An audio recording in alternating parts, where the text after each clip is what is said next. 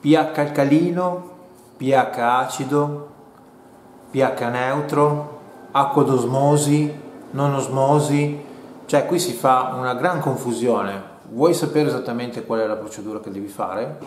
Segui questo video che andiamo a vederlo insieme e te lo dico io.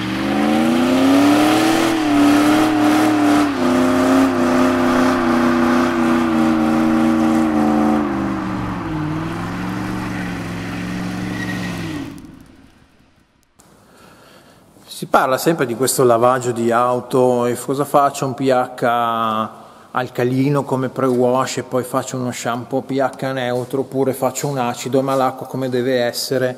Insomma eh, se sei un privato non, magari tutte queste cose non le puoi avere quindi devi trovare sempre il giusto compromesso e il, il giusto prodotto che possa essere utile per te poi certe, certe paranoie non servono a niente, lo devi avere se, fai, se fai un trattamento in nanotecnologia, ma io mh, mm, penso che a livello privato, se non in casi eccezionali, principalmente come protettivo o dai un ibrido o dai una cera o dai un quick detailer, quindi tutte queste paranoie non servono eh, che spesso si fanno sui forum, secondo me a volte io vado a leggere tutto quello che viene detto, ma io dico ma cavolo, ma non avete altro da fare nella vita, cioè che, se, che morire dietro a una macchina.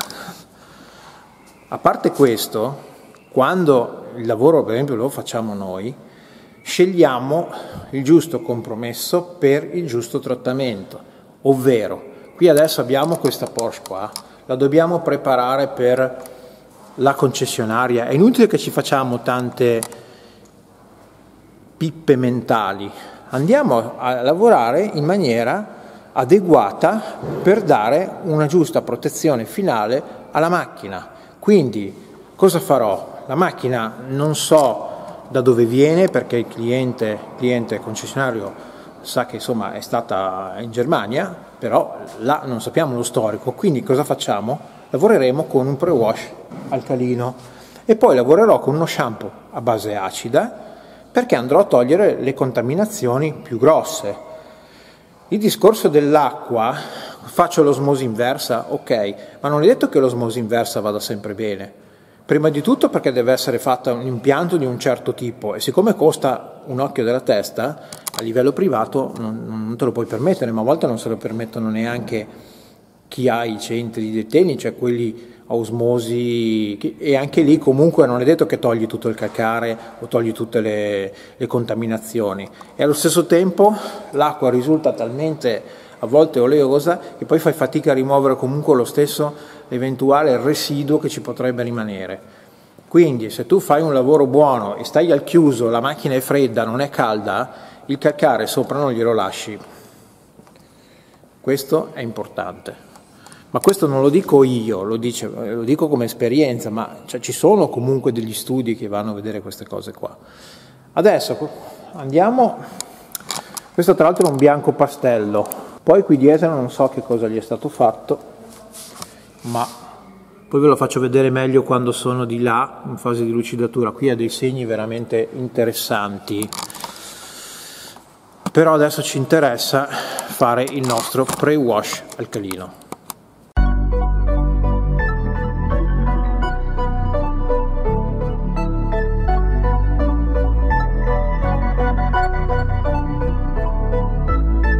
What you making. I feel like a amazing. Eh? I can't see a way out. I've been stacking face down off canvases I painted. I just spent the rain day on drip I can't afford, but that's the price I pay for the memories I'm making. I've been going places. I've been shaking hands for a chance to really make it. This life is so abrasive. So I almost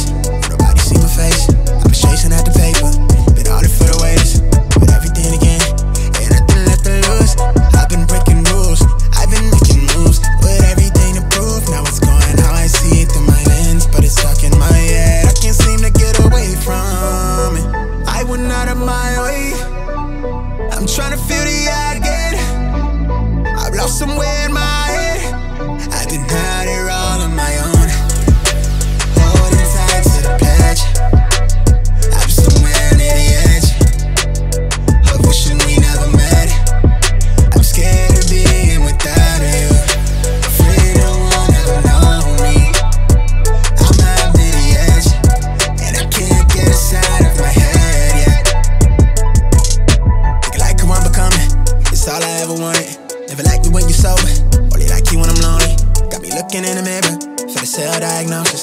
Feel like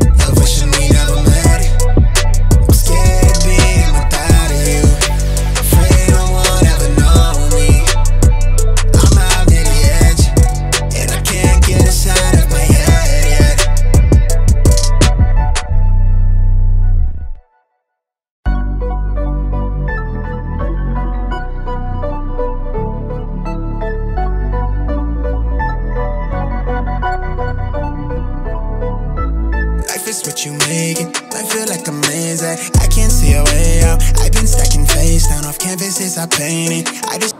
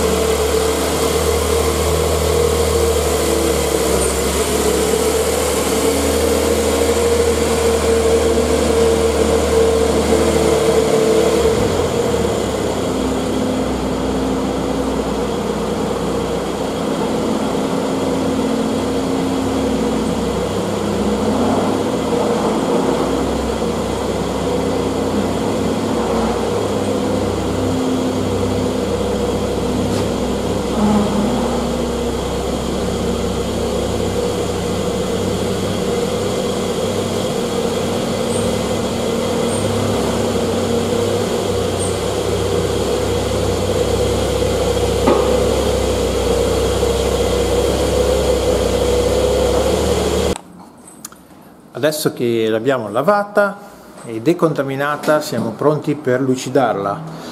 Ma, ma, ma, io non lo so perché, che cosa gli fanno le macchine? Che cosa gli fanno le macchine? Adesso spegniamo tutto perché vorrei far vedere una cosetta, una cosetta che si vedono, che si vede con le lampade. Vediamo se riesco a farvela vedere dalla telecamera perché non sono sicuro. Ecco. Ed è un bianco pastello. Questo è un bianco pastello. Lo sapevo che dalla, telecamera non si vede niente o sì? Forse. Qualcosa si vede qualcosa si vede. Dobbiamo andarglieli a rimuovere. Questa ha visto tanti di quei rulli ma al di là di quello gli hanno fatto anche qualcosa d'altro. Vabbè. Principalmente ce l'ha qui. Qua già meno. E qui. Qui è veramente messa male. Quindi adesso campionatura per capire quale tampone è meglio usare. E qui c'è una lucidatura non posso fare una lucidatura a tre step o due step perché è per un concessionario. Non è che possiamo andare a fargli spendere chissà quanto. Dobbiamo trovare una via di mezzo un compromesso. Quindi io probabilmente lavorerò con eh, adesso vediamo con uno protect altrimenti andrò con eh, la media di Switzer questa macchina ha voglia di farmi tribulare con l'allarme